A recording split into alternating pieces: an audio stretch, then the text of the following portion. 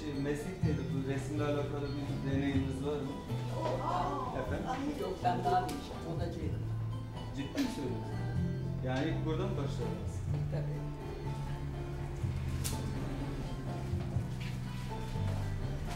Tebrik ederim. Harika.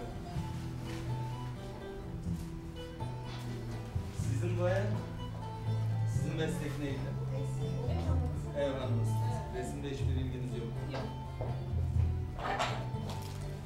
Hocamızın sayesinde. Evet. Hocamızın sayesinde. Ona binlerce çok teşekkürler. Sağ olun. Hep sıfırmış Meryem Hanım bu arada. Efendim? Hepsi sıfır. Tabii ki, tabii ki evet. Daha kalabalığız aslında gelmeyenler var. Gelip de gidenler var.